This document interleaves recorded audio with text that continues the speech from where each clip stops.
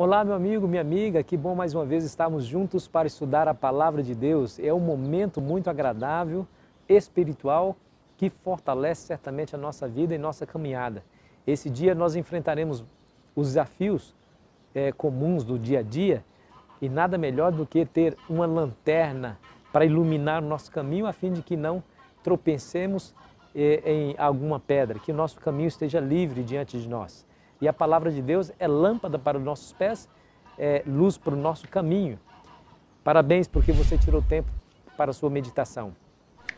Obrigado porque você tem assistido esse canal ou esse vídeo e tem compartilhado esse vídeo com seus amigos e com, seu, com seus familiares. Isso tem feito uma grande diferença. A palavra de Deus, quando ela é pregada, ah, meu amigo, ela promove a verdadeira transformação de dentro para fora, do coração do homem e aí nós conseguimos transformar a nossa sociedade.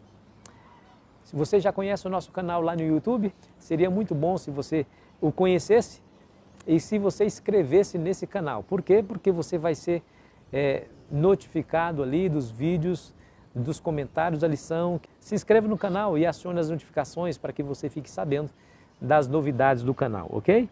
Vivendo como discípulos. Bom, nós é, seres humanos que vivemos no século XXI, às vezes complicamos coisas fáceis. O que é ser discípulo? Na verdade, ser discípulo é ser seguidor. É um indivíduo que escolhe um mestre e dedica a sua vida a seguir os ensinamentos desse mestre, a fim de que os propósitos, objetivos desse mestre sejam também os seus próprios objetivos.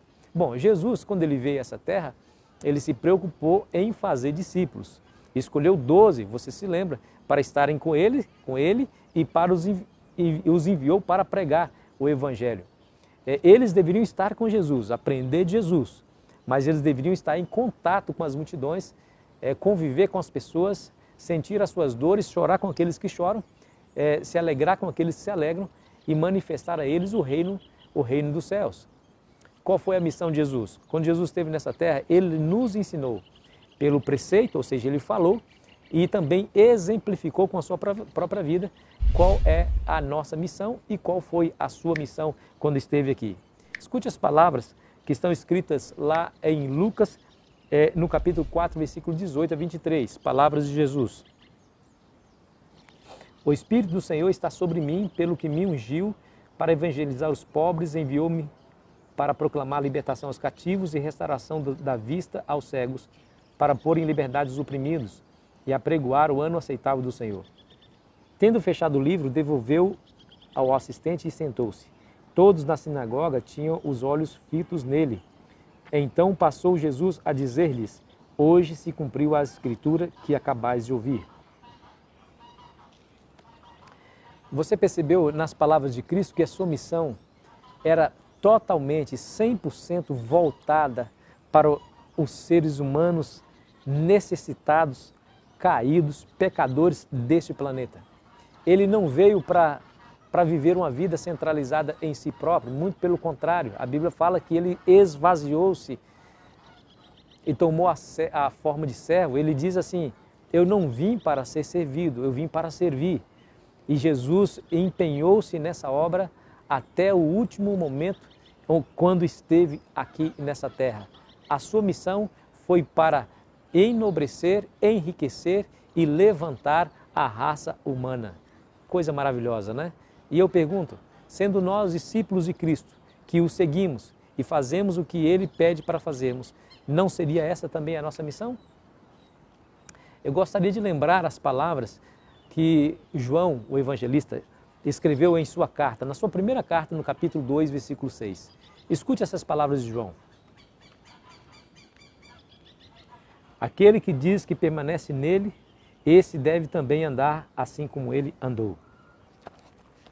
O trabalho de salvar pessoas, levar as pessoas das trevas para a maravilhosa luz de Jesus, trazê-las da perdição para a salvação, é um trabalho que Deus confiou a cada ser humano que aceitou o chamado, o seu chamado para ser um discípulo. Ou seja, cada membro da igreja, desde a mais tenra criança até o mais idosos dos homens e mulheres são chamados para serem discípulos, a levarem a obra do Salvador a um fim proveitoso, ao objetivo para o qual ela foi criada, que é justamente salvar todas as pessoas nesse mundo. Eu e você somos chamados para o alto privilégio de representar Cristo a todas as pessoas que estão ao nosso redor.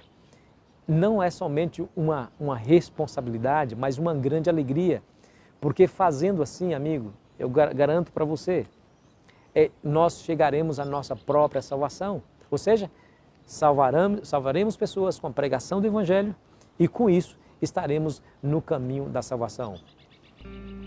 Como disse certo é, escritor, se você não estiver levando alguém para o céu, isso é um sinal inequívoco que você não está indo para lá. Salvamos as pessoas e chegamos à nossa própria salvação. Na educação cristã, o propósito da educação cristã é exatamente ensinar as pessoas não somente a crerem no Evangelho, mas se tornarem um instrumento útil para dar frutos para a honra e glória do nome de Jesus nessa terra. Jesus está chamando você para ser esse instrumento eficaz. Que você possa dizer para Jesus: Eis-me aqui, Senhor, envia-me envia a mim, como disse Isaías. Se você estiver disposto a ser usado e usada pelo Espírito Santo, eu quero dizer para você que a habilidade necessária, a força intelectual e espiritual que você tanto precisa para desenvolver o seu ministério, lhe serão concedidas pela mão pelas mãos sagradas e poderosas do Espírito de Deus. Vamos orar? Pai querido que estás nos céus, em nome de Jesus, o nosso Salvador, nós queremos colocar a nossa vida nas tuas mãos. Primeiro, agradecidos ao Senhor pelo chamado que nos fez. Estávamos nas trevas, o Senhor nos chamou para a maravilhosa luz de Jesus e agora o Senhor quer nos colocar no caminho do discipulado, seguindo a Jesus, aprendendo dele o que devemos fazer em prol dos nossos semelhantes. Pai, nos dê essa força, essa habilidade, nos dê conhecimento, sabedoria e entendimento para que possamos de fato ser um instrumento útil nas tuas mãos. Pedimos a tua bênção, Senhor, para o seu filho e filha que nos assiste nesse momento, em nome de Jesus. Amém. Meu amigo, foi muito bom estar com você mais uma vez. Espero vê-lo e vê-la amanhã para continuarmos o nosso estudo da lição da Escola Sabatina. Que Deus te abençoe. Aproveite bem o seu dia.